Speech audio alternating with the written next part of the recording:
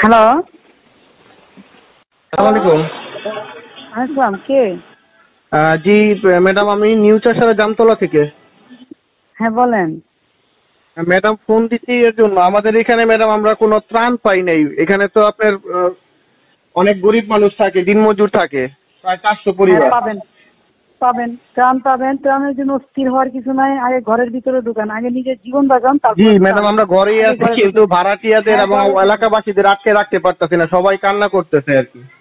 না ঘরে থাকেন কোনো কান্না নাই এমন অভাব আমরা ম্যাডাম ওই- জি।